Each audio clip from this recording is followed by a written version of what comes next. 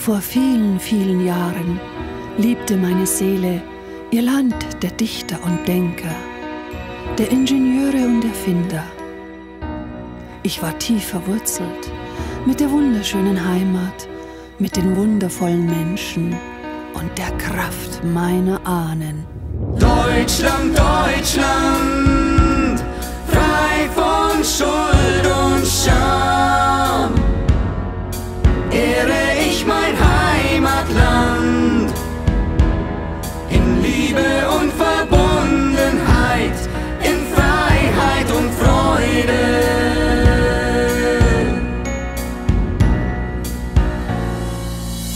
Dann überzog mich ein tiefer, dunkler Sumpf voller Intrigen, Hass und Kälte.